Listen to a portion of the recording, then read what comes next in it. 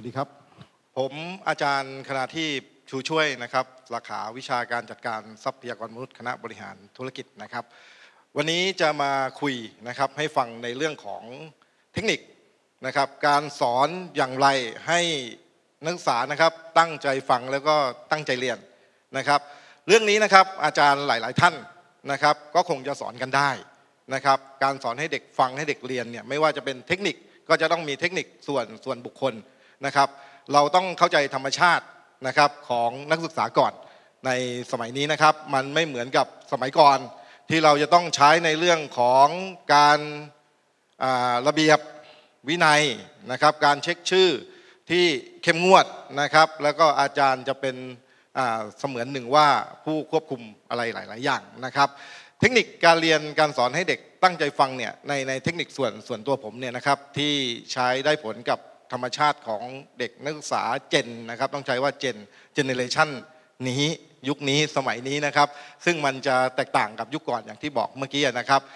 การการเข้าใจธรรมชาติของของนักศึกษานะครับ มาอันดับหนึ่งก่อน ในแต่ละคลาสเรียนเวลาจะจะสอนเด็กเนี่ยผมต้องทำการบ้านหนักมาก เพราะว่าผมเป็นอาจจะเป็นได้ว่าอาจารย์ที่สอนอย่างอย่างเต็มที่ร้อยเปอร์เซ็นต์แล้วสอนด้วยด้วยจิตวิญญาณจริง ๆนะครับ เข้าใจยังไงทำยังไง ถึงจะรู้ว่าเด็กกลุ่มนี้ควรจะสอนแบบไหนในแต่ละกลุ่มเนี่ยนะครับ ประการแรกนะครับ นักศึกษาแต่ละกลุ่ม ถ้าเราเคยเจอมาแล้ว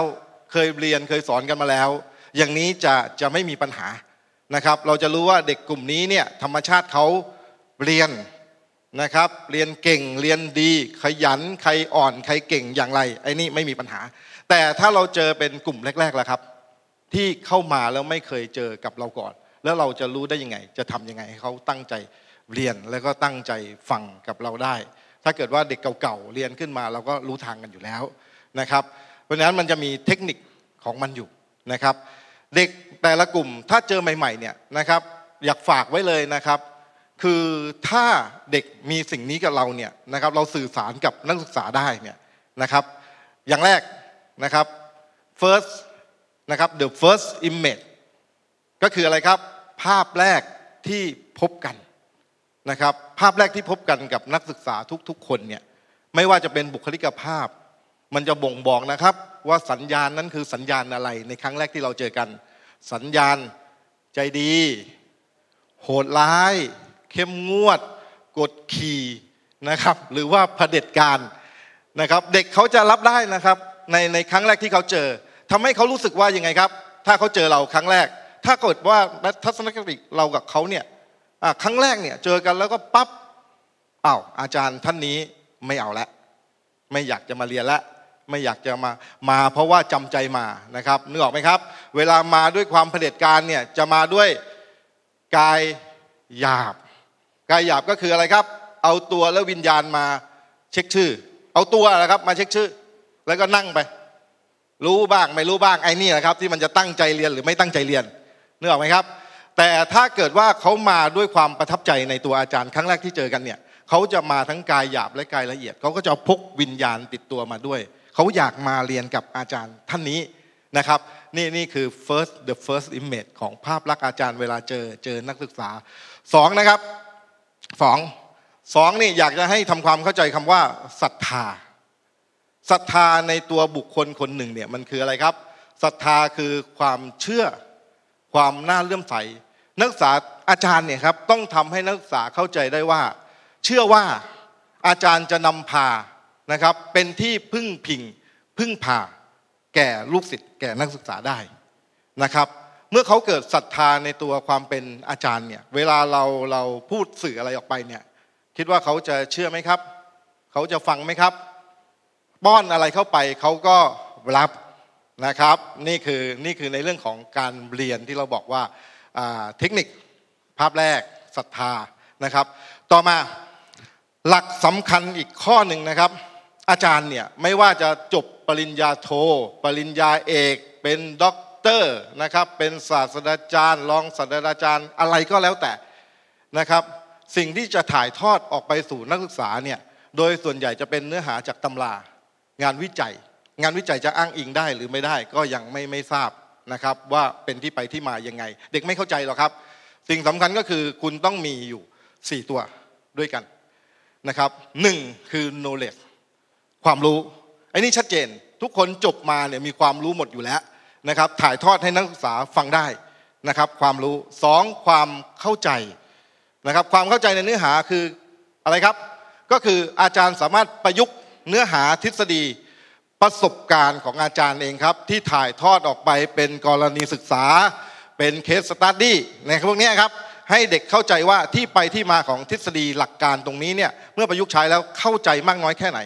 ถ้าเราบอกว่าทฤษฎี 1 2 3 4 5เนี่ยจะไม่สามารถดึงดูดให้เด็กฟังได้นะครับความเข้าใจอีกอย่างหนึ่งก็คือเรื่องของการนำเสนอ powerpoint น่าสนใจไหมเทคนิคการบรรยายน่าสนใจไหมนะครับลูกล่อลูกชน เด็กคุยต้องทำยังไง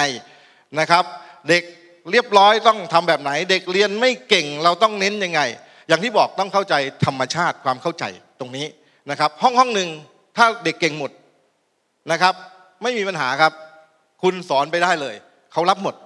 แต่ถ้าเกิดว่ามีเด็กเด็กที่เรียนปานกลาง หรือเรียนไม่ค่อยดีมากกว่าเด็กที่เรียนเก่ง คุณจะทำอย่างไรนะครับ เนี่ยครับเราต้องเข้าใจทำธรรมชาติในความเข้าใจแล้วเราจะสอนเขาเขาได้ดี เด็กไม่เก่งเราก็เน้นหน่อย เด็กเก่งเราก็ผ่านไปอาจจะเร็วนิดนึงให้เขาศึกษาด้วยตัวเองได้นะครับสามนะครับหนึ่งคือ knowledge สองคือ understand สามคือ skill ทักษะของความเป็นอาจารย์ ในวิชานั้นๆนะครับทักษะในการสอนการใช้เครื่องไม้เครื่องมือนะครับ ทุกอย่างว่าอาจารย์จะสามารถทำการบ้านมาได้ดีแค่ไหน การสอนคลาส ชั้นเรียนหนึ่งเนี่ยนะครับคุณต้องทำการบ้านมากกว่า ที่คุณเอาตัวคุณเข้าไปแล้วสอนหนึ่งสองสามสี่ห้านะครับคุณต้องเข้าใจธรรมชาติอะไรหลาย ๆ อย่าง อีกเยอะคุณถึงจะว่าดึงดูดโน้มน้าวเด็กให้ตั้งใจเรียนและฟังคุณได้ คุณใช้ไม้แข็งอย่างเดียวเนี่ยไม่ได้นะครับ สุดท้ายนะครับฝากไว้ก็คือตัว attitude ก็คือทัศนคติ ทัศนคติของอาจารย์นะครับไม่ว่าจะเป็นการ thinking หรืออะไรก็แล้วแต่ที่ป้อนออกไปสู่นักศึกษานะครับ ต้องเปรียบเสมือนว่า เชิงบวกที่เขาบอกว่า positive thinking นั่นเองนะครับ เราจะใส่อะไรก็แล้วแต่ ถ้าเรามองในภาพลบเด็กก็จะลบตามเรา ถ้าเรามองในภาพบวกเด็กก็จะบวกตามเรานะครับ ก็ฝากไว้ในในเทคนิคนะครับ เรื่องการเรียนการสอนโดยให้เด็กตั้งใจเรียนและตั้งใจฟังนะครับ อาจจะพูดเร็วไปนิดนึงนะครับ ก็แยกแยะแล้วก็ฟังดูว่ามันเป็นเรื่องเกี่ยวกับอะไรบ้างนะครับ แล้วก็สิ่งที่นำไป นำมาพูดครั้งนี้เนี่ยก็ขอฝากไว้นะครับนำไปใช้และปรับปรุงให้เข้ากับวิชาของของตัวเอง